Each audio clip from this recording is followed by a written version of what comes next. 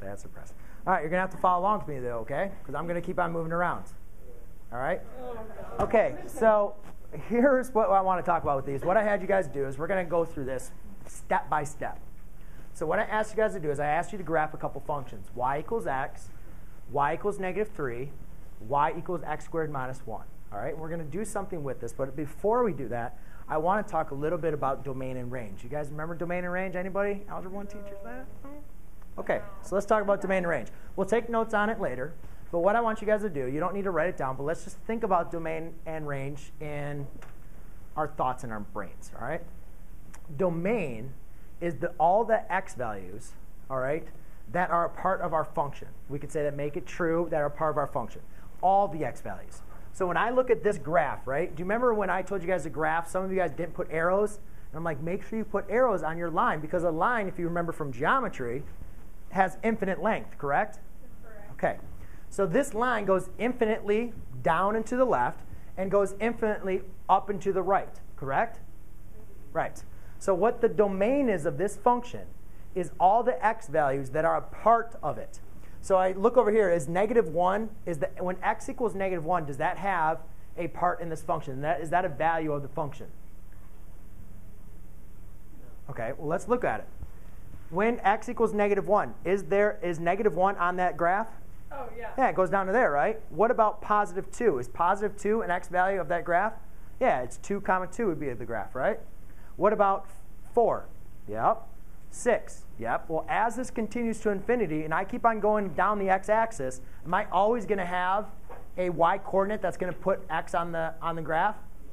Am I always going to have an x-coordinate that's going to put y, or um, x-coordinate that's going to put y on the graph in the negative direction?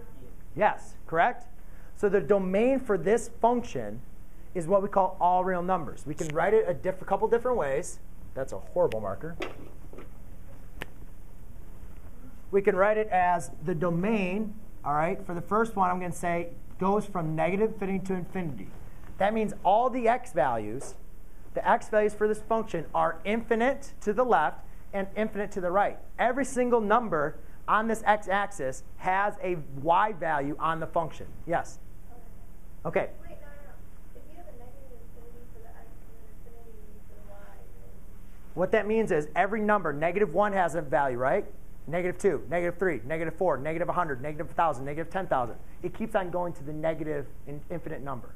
And then I'm saying to the, in the positive direction, 1 has a number, 2 has a number, 4 has a number, 100, 1,000, a million. Every single number doesn't matter. It's going to have a, you're going to have a, um, a y coordinate on the function, right? We'll talk. We'll get more into it in a second. The range is the y values. So I look at all my y values. It, does y have a coordinate at 1? Yeah. Yes. Does y have a coordinate at 3? Yeah, you go over there as the x value 3. What about as I keep on going up with y, am I always going to have a y value for each point on this graph? Yes. What about as y goes negative? Am I al- is negative 2 have a y coordinate? Yes. Does negative 5? Yes. As I keep on going down with my negative y values, am I always going to have a, a coordinate on the function for y? Yes. So we can write the range is from negative infinity to infinity. All right?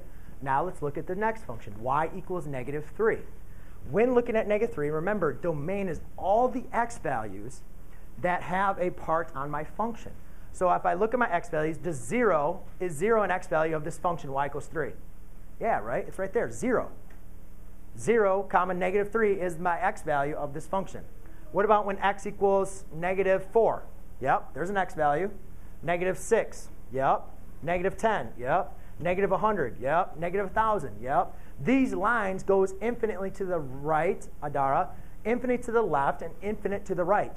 So that means I'm going to have infinite x values that are going to be coordinates for that function. Does that make sense? A little bit. So I'm going to write domain in a different way. Domain, then for this function, is all the x values to negative infinity. So x represents all the values of negative infinity to infinity. So all my values have to be greater than negative infinity and less than infinity. It's just I'm just writing it a different way. Okay? Now let's look at my range. Because now we're going to start talking about values that aren't a part of it. When my range does when my y value equals 0, is that a part of this graph? Is 0 a part of that graph? y equals 0? What about y equals 5? y equals 8? y equals 8? y equals negative 8? No. What about when y equals 3? That's the only part of my range, right? That's the only part of the range. The only y value that is a part of this graph is 3, or negative 3, correct? The x values, you have infinite many x values that are part of it, but only when y equals 3 is your range. So you say y equals, no, sorry, negative 3 is only part of your range. So the range for this one is only when y equals negative 3. Let's continue. Now, this isn't the most beautiful parabola in the world, but if you think of a parabola, as it goes up, right, it slightly keeps on getting wider and wider. So if I keep on expanding that, am I going to keep on getting wider and wider?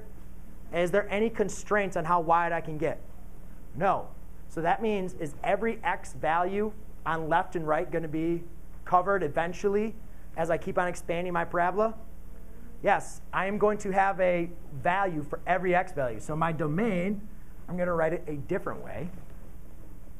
All real numbers, meaning all real numbers, all the negative numbers and all the positive numbers, all my x's will, may, will have a coordinate point on this function. But let's look at the range. When I look at my range, does 5 have a coordinate on the, in this function? Yeah, it actually has two coordinates, right?